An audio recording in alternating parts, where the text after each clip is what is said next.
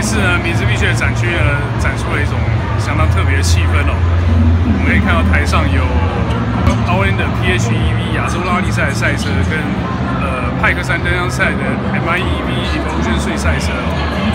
这两部车呢，都不是采用传统内燃机的呃非主流式的赛车，哦但其实他们成绩都还不错。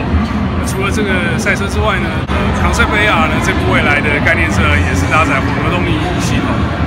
除了这些车辆之外呢，比斯必现行的试售车也都在台上。